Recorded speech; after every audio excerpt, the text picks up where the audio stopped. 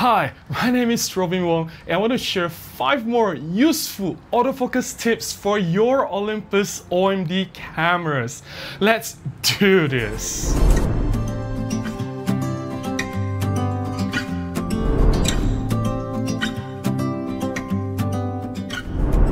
Previously, I have already shared some tips on autofocus using Olympus OM-D cameras. You can check out the video. If you have not, I'll leave the link up here.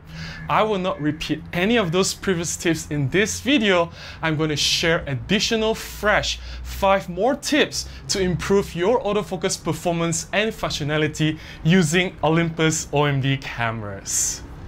Tip number 1 use the default autofocus point selection. For Olympus OM-D cameras, there are two ways to select the autofocus point. One through the arrow pad or the joystick if you have the autofocus joystick in the newer Olympus cameras such as the E-M1X or the E-M1 Mark III. But for all other Olympus cameras, you can activate the autofocus points from the arrow pad up, down, left, right buttons. The second method to change the focusing point or to select a certain area in the screen to be in focus is by using the touch screen. I would highly recommend not to use the screen's touchscreen operation if you truly want to prioritize autofocus speed and accuracy. The default autofocus point selection from the joystick selection or the up, down, left, right arrow pad, that is the superior autofocus point which you should be using. The reason is very simple. Olympus high-end cameras such as the E-M1 series, E-M1 Mark II, E-M1 Mark III, E-M5 Mark III, as well as the E-M1X, these cameras have phase detect autofocus sensors built into the image sensor. Guess where the phase detect autofocus sensor is? That's right, the phase detect autofocus sensors are located exactly at where those default autofocus points are at. If you move the autofocus point on the LCD screen, you will not be able to maximize the potential of the phase detect plus contrast detect autofocus performance.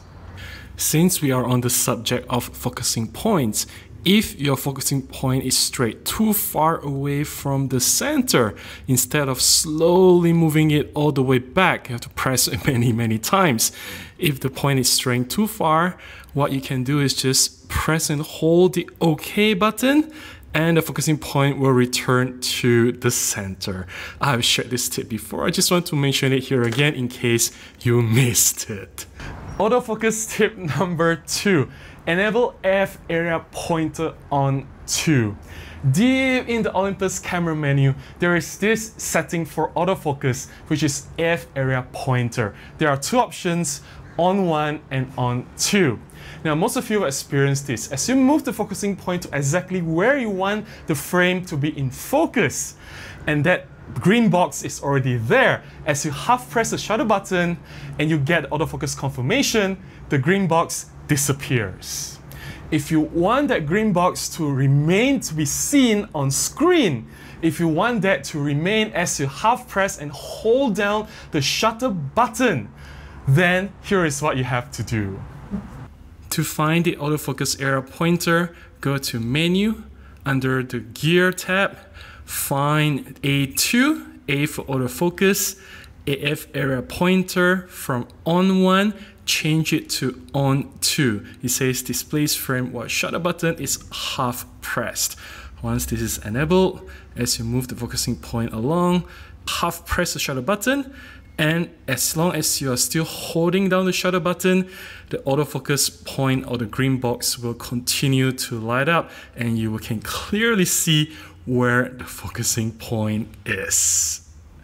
Tip number three, link the autofocus point with spot metering. I have shared this particular tip in one of my many, many Olympus OM-D tips videos, but I want to bring this up again specifically in this autofocus tip video. By default, if you haven't changed anything in your Olympus camera, the metering operation and the autofocus operations are separate, they are not linked. Typically, when we enable the spot metering, the camera will only calculate the exposure based on that tiny circular dot in the middle of the screen. Whatever is inside that circle will be used for the exposure. Now, as we move along the focusing point, as you can see, the metering does not change. The exposure stays the same. This is a default setting. We can change this. We can link the autofocus point together with spot metering operation. We go to menu, under the cogs or the gear icon, we go to E3. E, e stands for exposure. E3, we go to spot metering, press info to see what it says. For the selected items, metering will be executed in the area of the autofocus target, linking autofocus point with spot metering. Go in and check the spot metering. Once this is done, you exit this and as you move along the focusing point, you will see that the metering changes. The metering will calculate at that exact spot where your autofocus point is currently located. This can be very useful in a lot of situations. Autofocus tip number four, disable lens reset for macro photography.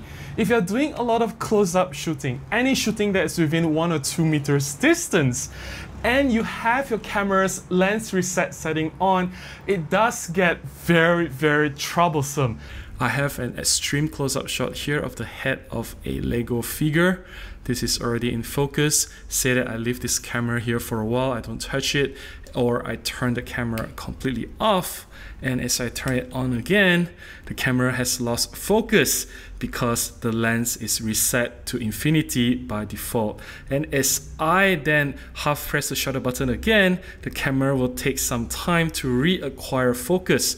And this can be troublesome for close-up extreme macro shooting. And this is even more so because the camera will have to work harder to calculate the very, very, very close distance in comparison to other normal shooting conditions.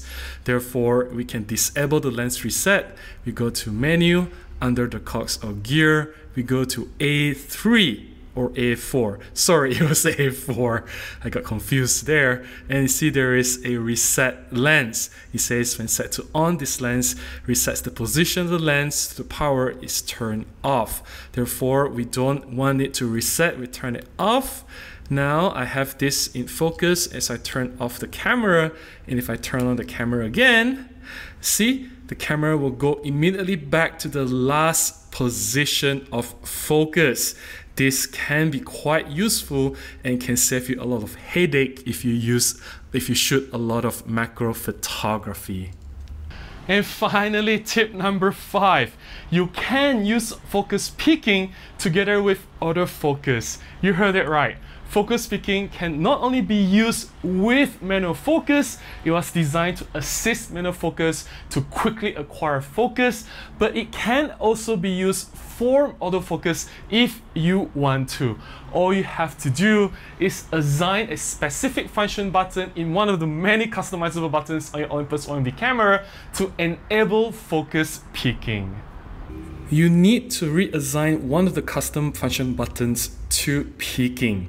There are many buttons to do that, but uh, for this demonstration, I'm going to use the ALF button. I know this button is very useful for a lot of people. You don't have to choose this. You can choose any other buttons. But for the sake of this demonstration, this is easier because you can all see it. Now I'm going to go to menu under the cogs or gear, we find the B, B for button. Under button function, we go F, L, and AL. We go inside furthermore, and I'm going to reassign this to peaking. Gotta scroll down a little bit. There are many functions you can choose from. There it is. Press OK. Once this is already assigned, you exit. And if you want to see peaking, just press that assign button you'll see that peaking will show you and indicate the area or the zone of the image which is in clear focus. That's all the autofocus tips I have to share in this video. If you found any of the tips useful, please consider buying me a cup of coffee. I'll put the link in the descriptions below. Never underestimate the power of coffee. All I can promise in return is I will produce more similar videos coming this way. If you've enjoyed this video, please give me a thumbs up. Please do subscribe to this channel if you have not already done so, and I will definitely see you again in the next video. Please do stay safe and take care. Bye bye.